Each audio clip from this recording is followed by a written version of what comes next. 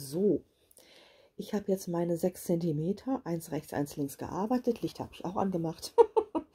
Und ähm, jetzt geht es darum, dass wir das hier miteinander verbinden müssen.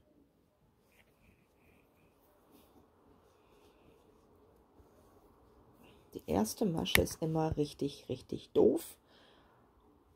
Aber haben wir schon geschafft. So, das war Masche Nummer 1. Und bitte im Muster. Äh, Quatsch, nee, nicht im Muster. Blödsinn. Was erzähle ich denn da für einen Scheiß? Nicht im Muster. Das ist, ähm, ihr müsst auch hier die Linie behalten. Immer jetzt rechts, rechts abstricken, die ganze Sache hier. Und dann rechts verschränkt. So, und wieder die nächste Masche geschnappt. Hier muss es eine Linie bleiben. Und das ist nämlich die Schwierigkeit. Wo ist es? Da muss selbst ich suchen, wie ihr merkt. Moment, da ist der Maschenmarkierer gewesen.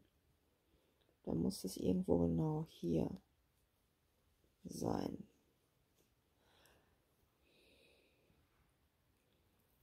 Dann miteinander verbinden.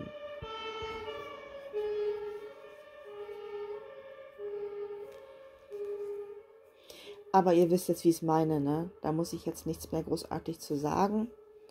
Ich denke mal, äh, wir sehen uns dann wieder, wenn ich das hier fertig gemacht habe.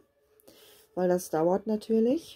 Und ähm, ja, wir dann ähm, die ganze Seite hier miteinander äh, die Naht schließen. Genau, mein Gott, jetzt fehlen mir die Worte. Also ihr wisst Bescheid, das hier miteinander Masche für Masche, wie ich es euch eben gerade gezeigt habe, miteinander verbinden und direkt abnehmen auch die Maschen.